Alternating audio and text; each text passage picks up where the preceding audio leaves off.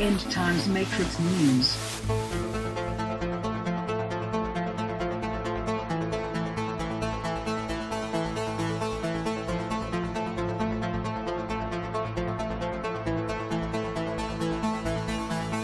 Let's discern the end times together.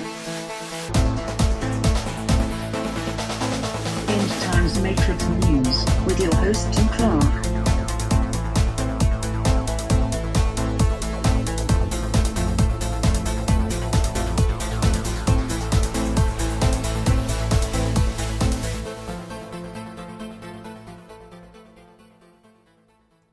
Hi, this is Tim Clark with End Times Matrix News. In this segment, I would like to go ahead and address breaking news that's really been escalating rather quickly. I'm feeling pressured to go ahead and just recap some of the major events that I've seen in the past week. I think that we're entering a rapid escalation. As of September 17th, the United States did something that was really out of character and drastic considering how our country has operated in the past. I believe the United States intentionally bombed a Syrian installation in order to provoke a World War III situation with Russia. What culminated from that was that the Russians called an emergency session of the United Nations Security Council to claim that the United States did do this on purpose. Also, during this period of time on September 17th, we also experienced the first bombings in New York City, which culminated in the eventual capture of Ahmad Khan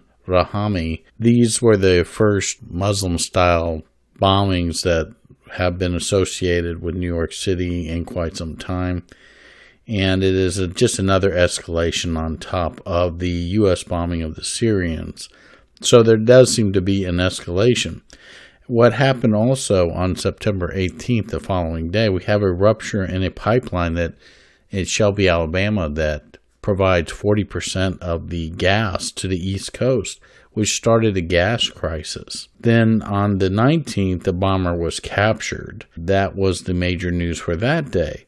Then what we had happening in New York City also is that we on the 19th we had the raising of the Baal Arch or known as better the Triumph Arch of Titus in New York City. What also was of interest to this was that Mr. Katai did a breakdown of this Arch of Baal and its location. The actual layout formed a X pattern with X marks the spot being the Arch of Baal and it also connected to the New York City Police Department at one of the lines, which carries us into the next major events that have happened, which are the Black Lives Matter riots, which have begun happening in the United States. And Hillary Clinton weighed in on these shootings of these individuals who were shot by police and has sided uh, with the rioters and has sided with Black Lives Matters.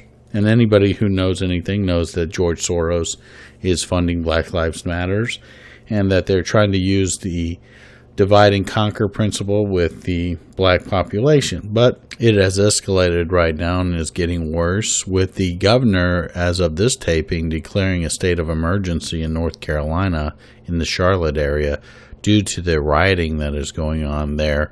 And they also had set fire to some vehicles and supplies from trucks on Interstate I 85. And they proceeded to continue riding, and it's just gotten really out of hand right now. So, George Soros, Hillary Clinton, the New World Order, the communists, insurgents that are trying to take over this country are really having a really good time right now with what's developing.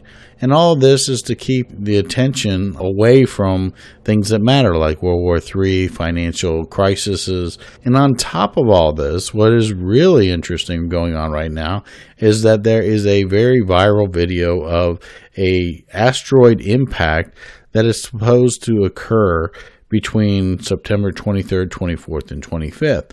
And we have talked about this many times before on our shows based on Mr. Cat Eye's decrypting of the September 23rd, 24th dates before. This also goes back to the original September 23rd, 24th controversy of last year. So we have a, an extreme escalation going on right now, and we need to be very vigilant and pray for the United States of America because it does look like they are trying to really ratchet up the anxiety across the United States and really create a lot of chaos, which is their main way of causing change. So I just want to thank everybody for listening to this podcast, and we'll get out some other videos and other podcasts for you real soon. Thank you very much for listening. Bye bye.